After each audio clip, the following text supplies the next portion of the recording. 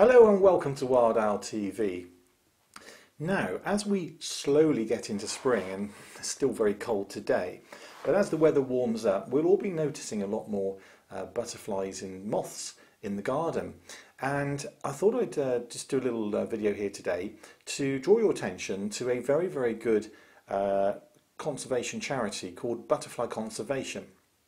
Now, butterfly conservation are probably not widely known um, in the general public in the same way as the RSPB is and some of the OWL charities, um, but it is actually a brilliant charity. And when you join Butterfly Conservation, you get a really, really good membership pack.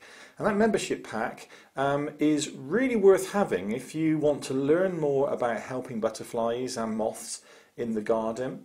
Um, and of course, if you um, would like to put some of your money into conservation and perhaps put it in a, in a direction um, with a charity which perhaps isn't getting as much support as some of the obvious ones. Now, some of the big bird charities um, spend a lot of money. One in particular spends huge amount of money promoting themselves, and it really is run like a business. And I have to say, I'm always very sceptical about um, some of these big charities because you know they've got paid staff, and a lot of the money that um, goes towards them from membership is actually paying people and it's paying advertising and it's paying for a lot of other things and not necessarily um, going directly to helping the species in all parts um, where it's needed. It's, it's much more selective and that's why I actually don't belong to many organisations. I, I do my own work because I want to really make a difference to the animals. I don't particularly want to make um, these big organisations rich and powerful. However, there is, without shadow of doubt, um, some uh, benefit to charities being large because they then can influence government. But from my experiences, um, some of the decision makings and some of the examples that are set are questionable. So generally, as a rule, I don't really do it. However, um, the smaller charities, I think, are definitely worthy of um, mentioning.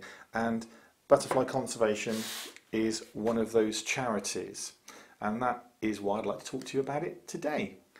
Now, we love butterflies, everybody loves butterflies, and yet, would you actually consider joining a butterfly charity and supporting, more importantly, supporting a butterfly charity? And this is a very good charity. Now, I'm going to hold my hands up here and say that last year I took advantage of a special offer and I didn't pay for any of this. And I have to say, I'm racked with guilt about that. But I did send them some money a couple of years ago when I joined. But things always tight money wise with me. A lot of what I do, as you'll be aware, it doesn't bring in any income. Um, so I did take advantage of a membership offer, but I will be renewing my membership and sending them my money. Um, but boy, oh boy, do you get some great stuff with Butterfly Conservation. So let me show you. Now, this is my membership pack that actually arrived through my door uh, I can't remember what it was, about September time, doesn't say. What was the postmark? Uh, oh, there we go, November, 7th of November. So, of course, at that time, there weren't many butterflies flying around my garden. And I wanted to wait until um, I was going to do this video to open this with you and show you what they send you. Because I'll tell you what, the membership cost, and I'll remind you this at the end of this broadcast, but the membership cost for Butterfly Conservation is £3 a month. Okay, that's £36 a year or £40 a year, i.e. 333 a month for a joint membership. So the first one was a single or a joint, or if you had a family membership, it's £44 a month, which is £3.66 a month. Let me show you what you get for that, because I'll tell you what, it is fantastic. So, I know what's in here because I've already had this. So this is the welcome pack that you get when you join Butterfly Conservation. Now it may be slightly different now as I'm doing this in April 2018, but I'm quite sure it's going to be very, very similar. So of course you get your um, welcome letter, and in fact the president is Sir David Attenborough, and uh, I know he's a big supporter of butterfly conservation, uh, as are people like Chris Packham and what have you. So you've got your covering letter. Uh, it reminds you that you've got a local branch, which is Somerset and Bristol. And then the first thing that you get is a wonderful magazine. So this is the summer 2017 Butterfly magazine. And although they call themselves Butterfly Conservation, it is actually Butterfly and Moth Conservation. And I know that I noticed somewhere that they were um, suggesting that maybe they should change their name. Um, but look at the oops, that. look at the quality of the information that you have in here. The, the, this publication is really, really lovely. There's lots of different articles about some of the reserves that they have where you can see butterflies and moths. They're often places that you don't get lots of people um, going around, a bit different to the bird reserves where there's always photographers going. On these butterfly reserves, we, me and Jackie, my partner, we went to one last year. Beautiful day in Gloucestershire, and there were some great butterflies, and nobody else was there. And it was a butterfly conservation res reserve. So they're looking here at, at moths, and um, how to separate the blues, all this sort of information. So that is brilliant, and that is a, um, a publication that will come out, um, I suppose it's quarterly, I'm not quite sure myself. What else do we get? Um, tells you about the different branches of butterfly conservation that there is currently. Um, so we've got them here in Gloucestershire um, and Devon, Dorset, South Wales, Somerset and Bristol. So depending where you live in Bristol, you can either go to Gloucestershire or, or the um, Somerset and Bristol. And then we get into the really good stuff. Garden moths, some common species. And this is a publication, beautiful full colour. Look at this.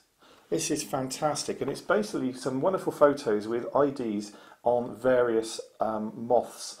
And it's a double-sided publication. So you get that. That is brilliant. That's going into my collection, although I have to say I do have one of these already the last time. What else have we got here? Butterfly Conservation Reserves. Now, as I say, we've been to um, a couple of their reserves and they have reserves in different places. Now, supporting butterfly conservation um, does mean that, of course, it's given them funds and given them memberships to influence um, decision, policy making at government, but also, of course, the funds to eventually buy land and then they can convert that land with the help of volunteers into reserves. Um, so there's all sorts of reserves in the Midlands, southeast of England, north of England, um, and in the southwest. Um, we've got uh, some in Gloucestershire. There's Prestbury Hill in Gloucestershire, Roughbank, Gloucestershire, where we went um, and some in Devon in that. It's a great day out. Take your camera and um, visit these places. So it tells you about the reserves, tells you about uh, the butterflies and the moths maybe that you can find on those reserves. And I'm just having list give you one example. Um, Roughbank, which I know was one we went to. I can find it. I Wish I'd done this now. No? There we go, Rough Bank. Okay then, so Rough Bank is in Gloucestershire, uh, 18 hectares, and um, it's in the Dilley Brook Valley um, in the Cotswolds. And the key species there are small blue, chalk-hill blue, Adonis blue, common blue, brown argus and green hairstreak, all very rare butterflies, very specific to the habitats there, as well as of course your marbled white um, and your brimstone and all those sorts of uh, other, sorry, brimstone butterflies and brimstone moths I'm sure, lots of moths as well. So that's brilliant, well worth it. Um, there's um, them encouraging you to do a legacy, which of course you get with all charities. Um, what have we got here? Um, tells a little bit more about the work they give you some postcards. Look at this. Beautiful chalk hill blue postcard, scarlet tiger, tiger, comma, marsh fritillary. So how good is that? That's just really, really nice. So that's something that you can send to your very special friends that appreciate wildlife. Um, there are also some Christmas raffle 2017 tickets. So that's sorry about that, but uh, I don't usually promote those sorts of things. I'm a bit shy for that. And then look at this, a gardening book. This is a book by Kate Bradbury, Butterfly Conservation. Now, you know, you'd pay £5 for this in the shops, and um, this is a book that shows you what you can do to help butterflies in the garden, and moths, of course, caterpillar, food plants. Um, there's an introduction there, looking at the garden tiger and scarlet tiger moth, butterfly or moth, um, because it's new, it's a bit uh, foldy. Gardening with children, um, got some things here how you can uh, pot up plants. It really is superb, fantastic booklet, and that's that's also something that is really really valuable.